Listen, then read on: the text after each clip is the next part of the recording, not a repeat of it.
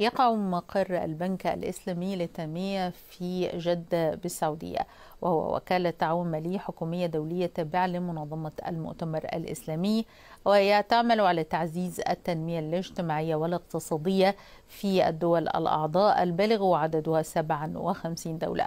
أعرب رئيس البنك محمد الجاسر عن إعجابه الكبير بالفرص التي جلبتها التنمية الصينية لدول العالم خلال السنوات القليلة الماضية معربا عن تطلعه إلى مواصلة تعزيز التعاون مع الصين خلال السنوات الخمسة المقبلة في مجالات البناء المشترك للحزم والطريق.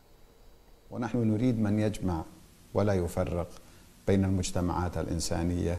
وتوطيد السلم العالمي أيضا في كل مناطقنا إن شاء الله و الصين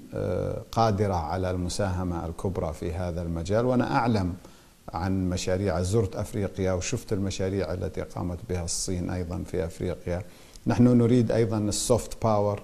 والتعليم والصحة والمجالات التي تمس حياة المواطن العادي أعتقد أنها تكون جدا ممتازة ونحن مستعدون على التعاون مع الجهات الصينية المعنية.